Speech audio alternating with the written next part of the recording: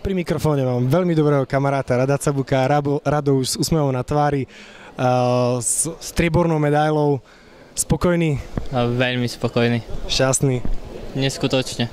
My sme ťa oklamali s Igorom, sme ti ukázali 4. 5. miesto, ten úsmev ti trošku klesol.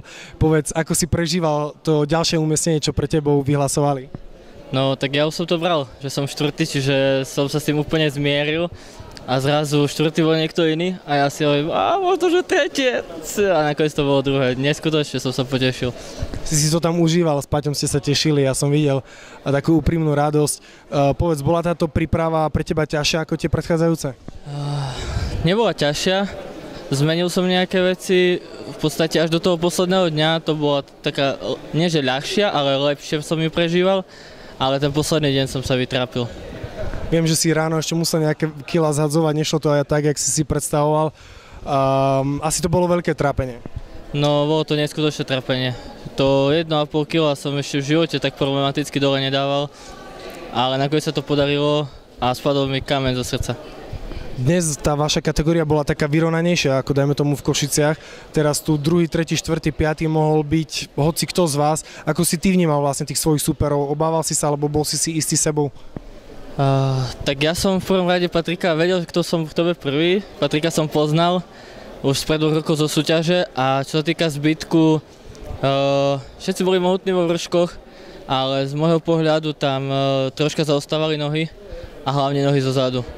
Čiže toto len jediné som vedel, že by som mohol mať lepšie a ináč som to veľmi neriešil. Uh, videl som tvoj opäť veľký fanklub, myslím, že asi im patrí veľká vďaka za to, že chodia s tebou po tých súťažiach.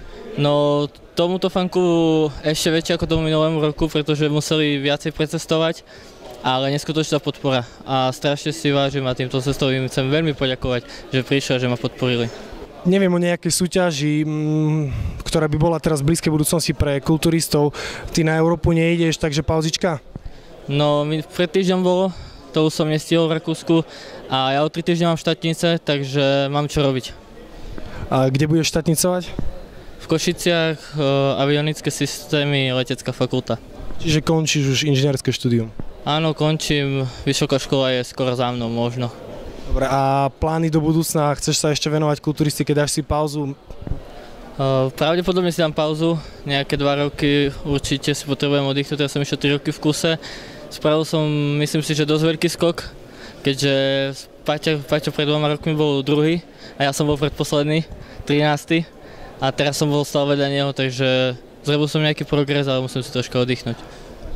Takže možno predpokladať, že tak za 2-3 roky by sa opäť objavil na podiach. Uh, ak mi to dovolia podmienky, tak uh, rád by som. Rado, ďakujem za rozhovor, gratulujem k striebru, super vydreté, verím, že spokojný, teším sa s tebou. Ďakujem aj ja veľmi pekne, aj tebe, aj Igorovi, aj Izlabu.